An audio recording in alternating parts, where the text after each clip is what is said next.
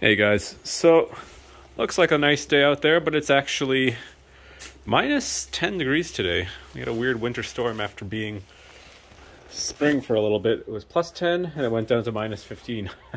so I'm on leave today and I'm gonna spend a little bit of time clearing out this parts shelf. Today I think I'm gonna deal with this Cobb shop short shifter that's been sitting on that shelf for a while. It's time for it to finally go in the car. Okay, so this shifter should be a relatively straightforward install. Essentially, we're just going to take off this bezel here, um, unscrew the gear knob, and remove the whole center part like that. And then that's going to give us access to a rubber boot that covers the gear shifter linkage, and we'll deal with that once we get there. So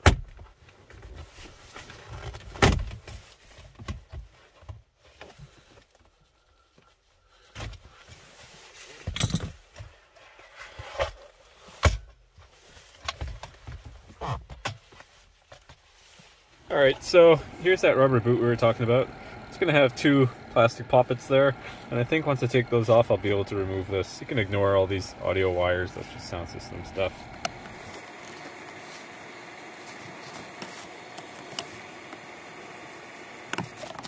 That's the plastic cap, and that's what it was covering. So I'll do the second one. All right, so with those plastic caps out, we're good to go to remove this uh, shifter boot. Now, where you see there's staples along the sides, those staples are stapling this rubber cover down onto the, what I think is probably the soundproofing for the transmission hub. So if you tug on this, you'll see that it comes up and you can actually see the hole through to the shifter mechanism there, the gear linkage.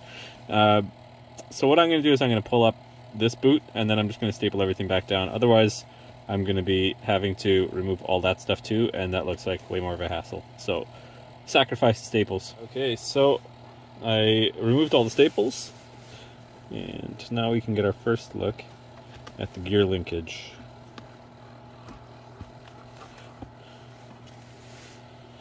And that's what it looks like. So if I just keep pulling here, this should come on out. And that came off without any issues. Looks And here we go. There's the linkage in there. So what you can see is essentially our short shifter is going to go and sit in there just like that. Uh, we, we have to remove these two bolts on the side. Make sure you keep this this bolt that uh, that joins the linkage there. And then we're also going to have to get in there and remove that little ring there. Now, it's pretty greased up. Let me get this light a bit closer.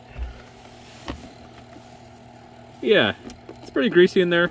Uh, you're supposed to use C-clips or snap ring pliers to uh, to take that out, but I'm going to see if I can do it with just some regular pliers, and if not, I'll make a run to the hardware store and pick some up for about 10 bucks or so.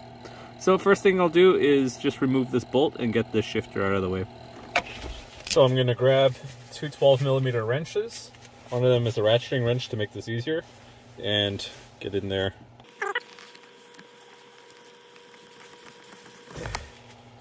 Okay, so I got the nut off. Let's take the bolt out.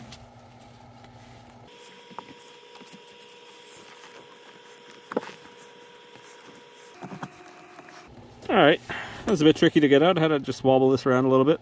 But came free, linkage is free, and now we can move in there with the pliers and see if we can take that ring out. I wasn't able to get my pliers in there. The heads get in, but then they slip out. So I'm gonna run out and grab that snap ring pliers and come back at this and get this done. Alright, I got the snap ring pliers and it was super easy to take that snap ring off so you can see it sitting there. Next thing I'm gonna do is literally just grab the shifter and yank it out and it should come out of the hole. And there you have it. So this ball is going to stay on there, the snap ring is going to stay on there. We're going to take this to the bench and then we're going to transfer all this stuff onto the new shifter. Throw. So essentially what we're going to do is all the hardware that's on the stock shifter is just going to slide right over to the other one. We're going to have to take off this ball, which is just a pull, pop it on, put the snap ring on over here so it's ready to put into the car. And then the last thing will be this bushing here. So that bushing is just going to slide right out of there. We'll just take a maybe a screwdriver or something and knock that out and then slide it into the uh, the new one. And I'm going to take as much grease as I can and put it on there as well.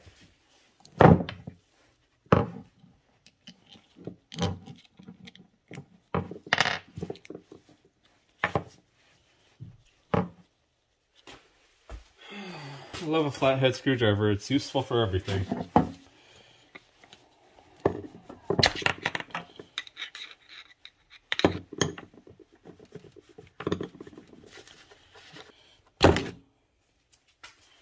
All right, so sleeves are out, bushing is out.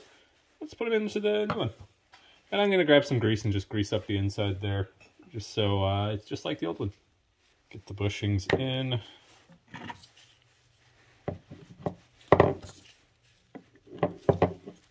Simple as that, we've got a shifter ready to drop in. All right, so here's our short shifter. Now what you wanna do is make sure that the Cobb portion is facing the front. It needs to sit like this to work properly. So essentially you're just gonna push the thing down the same way you pulled it out and then take your snap ring pliers and squeeze the ring, push it in to make sure it's locked down in there. Once it's down and seated properly, then we'll start working on the shift height and uh, the adjustment features. So I think this is easily the hardest part of this install. Just trying to get this damn C-clip back into the hole. Because of the clearance with the shifter. And you know how tight it is in there. All right so fiddled with it for a while. Was finally able to get that snap ring in there. And I have the the heads on the back side here instead of the front like it was before. Really shouldn't matter though. Um, tips on how to do that? Play with the shifter fork position. Just hit the clutch and take your hand and move it around so you can get the space that you need to play with the shifter.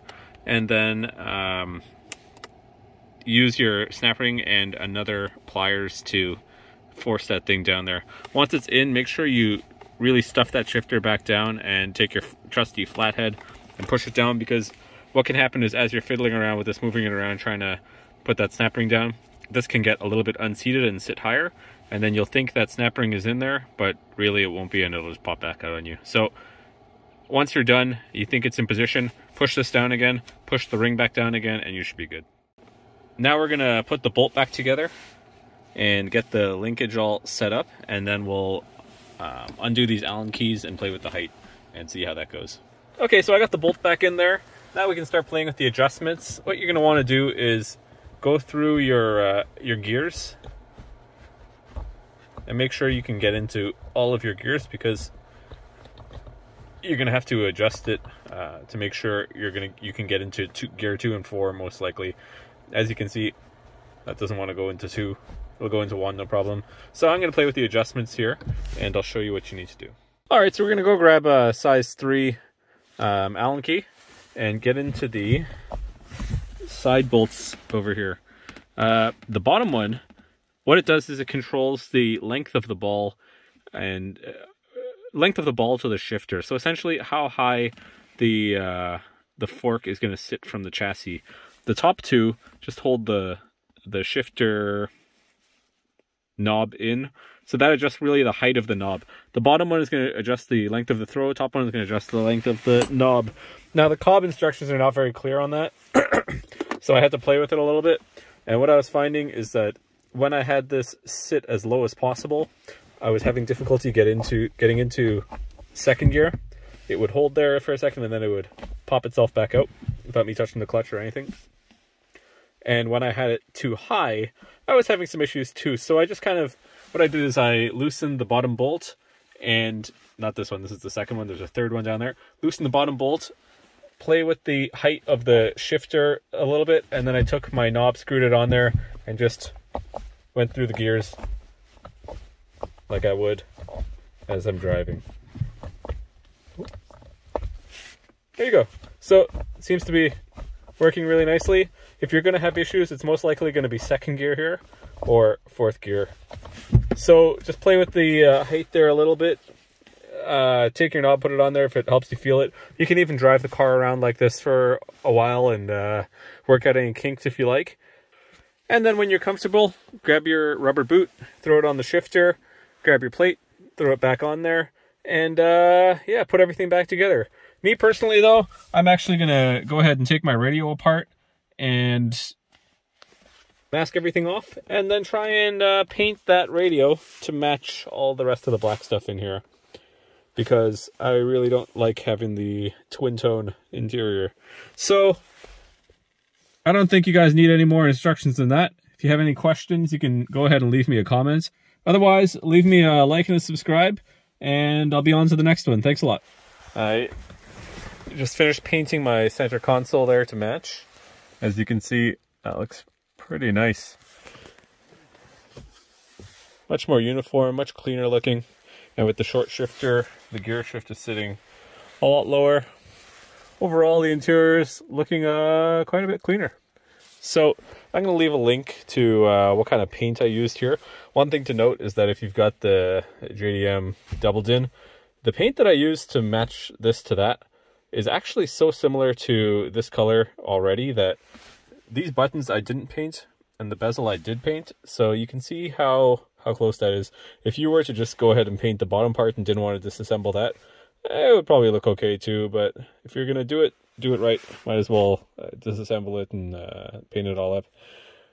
So now that I got that done, I think I need a new gear shift knob. So if any of you guys have any ideas, any suggestions on what you've got, what looks good, uh, throw me a comment and let me know, and maybe I'll look into that. Otherwise, thanks for watching, and I'll see you guys next time.